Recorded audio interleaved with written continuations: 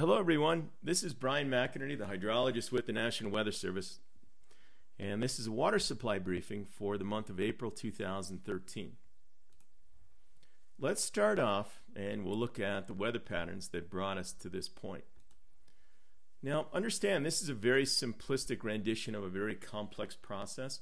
There was some other storms that snuck in and out of Utah, but the major pattern had a high pressure that built in over about 140 degrees longitude, and that shifted the major storm activity to the north of us.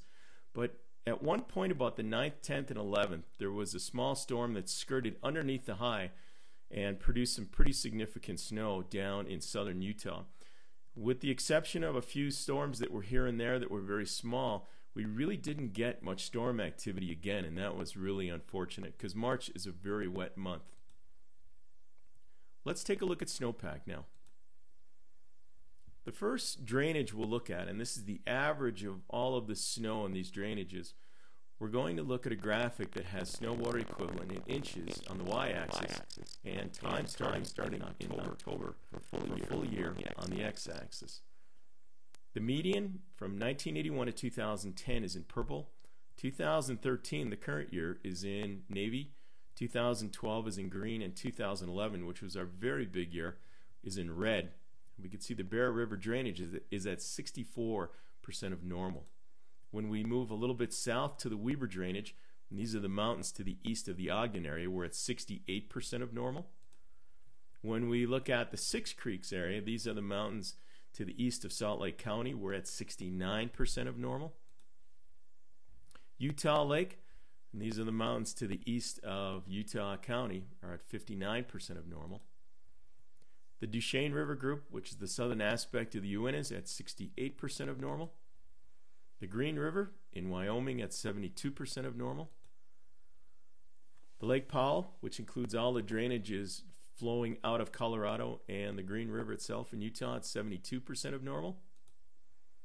The Sevier at 72% of normal, kind of in south central Utah. And then down in southwest Utah on the Virgin at 60% of normal.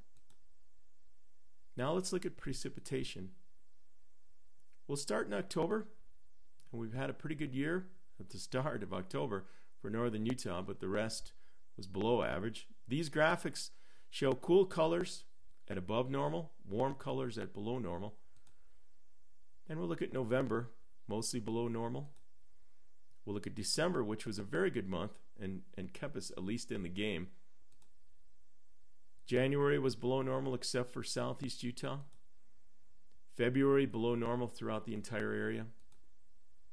And March below normal also. And this was unfortunate. We could have used some good storm activity in March to bolster our numbers.